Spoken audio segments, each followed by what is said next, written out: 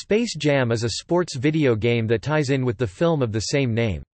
It was released for the Sony PlayStation and Sega Saturn consoles, and MS-DOS computers. Unlike the film and real rules of basketball, each team plays 3 on 3. Players have a choice whether to play as the TuneSquad or the Monstars. It features basic controls and 2D graphics. The game was developed by Sculptured Software, who coincidentally had developed the Looney Tunes-based basketball game Looney Tunes B-Ball for Sunsoft the year prior to the production of the Space Jam film, and published by Acclaim Entertainment, who coincidentally had been publishing the NBA Jam series of wacky-themed basketball games.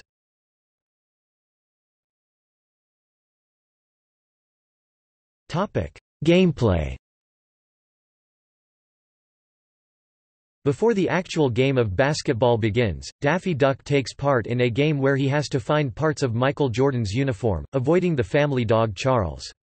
In between quarters, minigames such as Shootout, Space Race, and Hall of Hijinks are available. After the second quarter, Bugs takes part in a mini-game where he has to find water bottles containing Michael's secret stuff.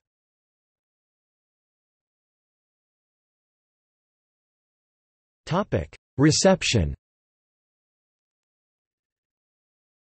Space Jam received negative reviews, with critics generally commenting that the basketball is overly simplistic and easy.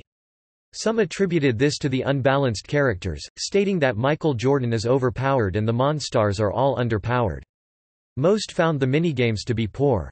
The graphics were also criticized, with many critics saying they could have been done on 16-bit consoles, though the depictions of the popular Looney Tunes characters were praised. Dr. Zombie of GamePro described the game as ordinary GameSpot's Tom Ham stated that, Despite the use of much-loved Warner Brothers cartoon characters, Space Jam fails miserably in every category.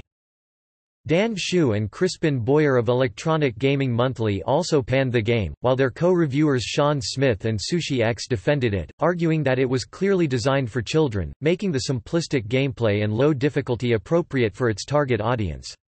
A reviewer for Next Generation countered this argument by pointing out that it uses one more button than NBA Jam does, which he felt made it too complicated for young players. He remarked that while it's hard to forgive the poor basketball, it's even harder to like Space Jam given the disc's numerous carnival-style mini-games.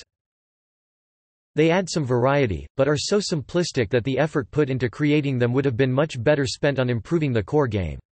Sega Saturn magazine's Lee Nutter felt that Space Jam was decent as a multiplayer game, but fell short of other basketball games on the market, most notably Acclaim and Sculptured Software's own NBA Jam Extreme.